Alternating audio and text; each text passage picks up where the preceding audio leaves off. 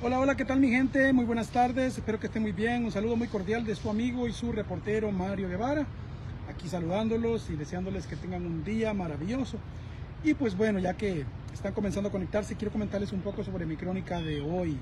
Tiene que ver con la historia de un muchacho, un jovencito que apenas tiene 21 años de edad, pero según las autoridades es un sendo pervertido. Fíjense que este muchacho está metido en el lío de su vida porque de ser hallado culpable de los cargos que se le imputan, va a pasar el resto de su vida en prisión. ¿Por qué? Bueno, fíjense que a él lo acusan de haberse metido eh, sexualmente con una niña de 15 años, una quinceañera, dicen, eh, dicen las autoridades de que él abusó en múltiples ocasiones entre 2019 y 2020. Fue un año entero que él pasó con esta niña.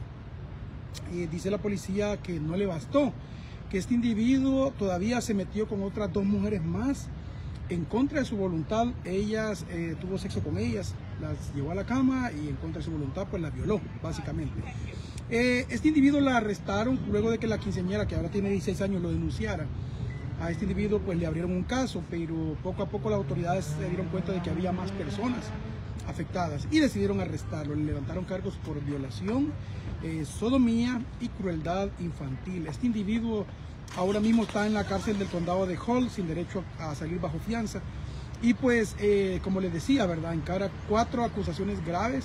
En caso de que sea hallado culpable, este individuo va a pasar el resto de su vida en prisión.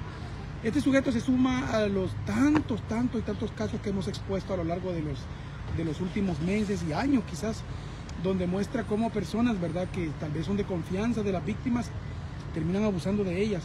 Eh, muestra que todavía hay, hay, gente, mucha gente enferma, allá, allá, afuera mucha gente enferma, que creen que porque a alguien les gusta o porque sienten atracción por alguien ya tienen el derecho de meterse con esa persona.